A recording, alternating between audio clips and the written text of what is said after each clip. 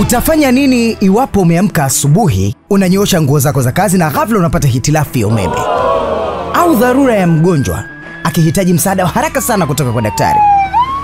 Vipi kuhusu elimu eh? Masomo ya ziada ya mtoto wako au ile haraka ulionayo, ukiwahi dili la pesa nyingi bila tumaini la usafiri wa haraka na salama?